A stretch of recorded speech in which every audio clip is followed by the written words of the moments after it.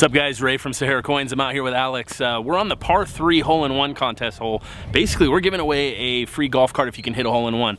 Not to say there's been a hole-in-one hit, there's been balls flying everywhere this whole time we've been here. So, uh, you know, come out to one of the golf tournaments we're a part of. Uh, maybe you can win a golf cart if you can hone in on the hole. Have a good one.